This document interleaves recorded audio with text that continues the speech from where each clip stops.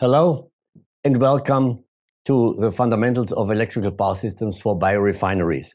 Today I would like to speak to you about the subject of smart grids.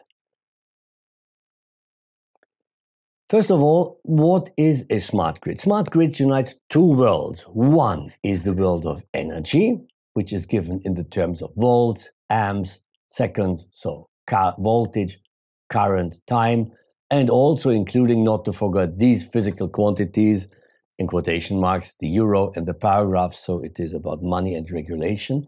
And the other world is the world of ICT, information and communication technology, which is given in terms of bits, bytes, hertz, frequency, transmitting power, and so on, and also about the economic considerations.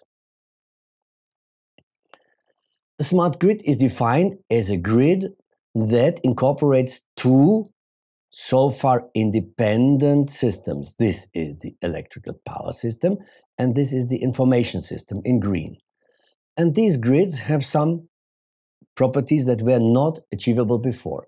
One is that all the consumers and producers are aware of others, that they are regarded as agents, not just passive consumers, but they can influence things and take part in the whole process, that there is a spontaneity, that means you can do whatever you like, and the system must keep up with these demands.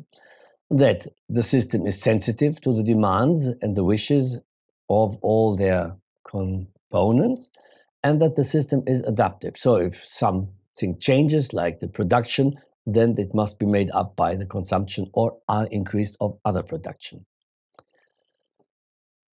Everybody of us knows by nowadays one of the key element of the smart grids, which is at the customer side, these are the smart meters. So the smart meters are devices that are no longer the so-called black boxes.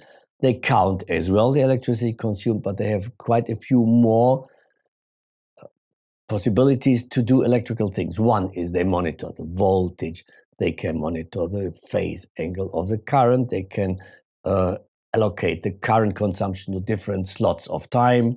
They can also take some control actions according to the degree of technical their technical components and how far they are constructed and configured to do this.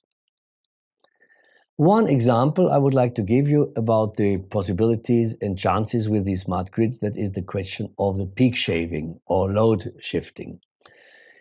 Here we see the daily consumption curve, which has already been dealt with in the chapter about electrical loads. We see this load valley in the night and the peak during noon and the evening hours.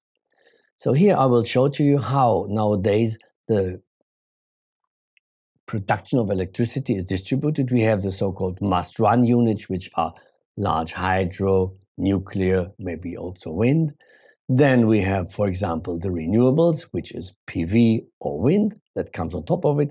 And the rest must be made up by carbon dioxide related generation procedures like burning gas, burning coal, etc., wood. So now, this is the point where we would like to shift our attention to. For example, if we add electric vehicles in the car, and we assume that all these electrical vehicles are plugged in uh, at the garage in the evening hours when people come home. That would mean we have an additional load in the evening hours, and you see these might even exceed the peak that was so far foreseen, and that would mean an overload of the grid, which is not good. So now one could do something against this by shifting the time, and that is done by this load shifting or peak shaving. So Instead of taking the electricity and energy out of the grid in the evening hours, we do it in the low load time. For example, this is the night hours. Or it could be done in times when there is a surplus of energy which could not be used in other ways, then it will be used in electric cars. Peak shaving is just one example of smart grids applications. There are other applications like sharing the generation proportions between generation group A and B, or influencing other properties of electrical grids like reconstruction of the grid and reconfiguration after a fault. That is all possible. And this is the future of the smart grids, which unite the two worlds the world of electrical energy and the world of information and communication technologies.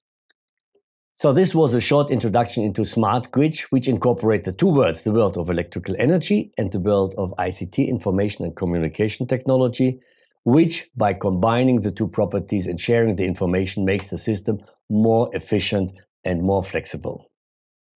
If you have further questions, please turn to the script. Thank you.